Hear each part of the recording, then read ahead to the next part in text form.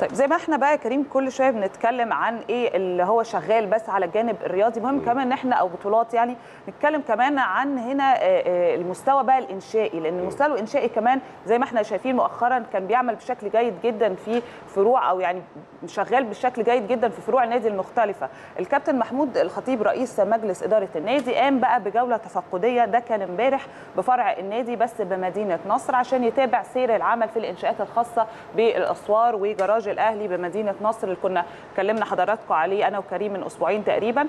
الجولة دي طبعا تضمنت كابتن محمود الخطيب وكان معاه العميد محمد مرجان المدير التنفيذي والمهندس سامح علي كامل المستشار الهندسي لمجلس الإدارة. في كان حضور أحمد النحاس القائم بأعمال مدير مقر الأهلي بمدينة نصر وحرص الكابتن محمود الخطيب على الوقوف على آخر التطورات هنا الإنشائية بشأن سور النادي بشارعي حسن مأمون والنصر.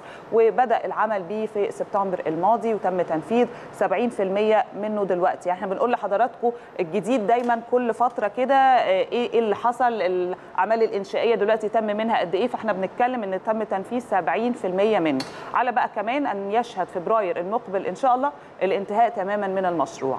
تابع كمان كابتن محمود الخطيب أعمال الإنشاء الخاصة بجراج النادي اللي بتبلغ مساحته 33 ألف متر وهيتسع 1000 سيارة تقريبا وده بعد أن تم الحصول على كل بقى التصاريح خلاص والموافقات اللازمة وهيحل الجراج الجديد ده مشكلة أكيد تكدس السيارات اللي كانت يعني بشكل كبير كل الأعضاء تقريبا بيشتكوا منها وتم الانتهاء كمان من 50% من المشروع فيما يتعلق باعمال هنا تحديدا الحفر. فإن شاء الله يعني يتم الافتتاح في يونيو المقبل ويعني زي ما إحنا بنقول كده كويس جدا إن في خطوات كان تقريبا أكتر من 10 سنين الموضوع ده عامل أزمة. فدلوقتي بنقول خلاص شهور بسيطة وأشهر بسيطة والقضية هتحل. فأعتقد دي خطوة إن شاء الله كلنا هنسعد بيها.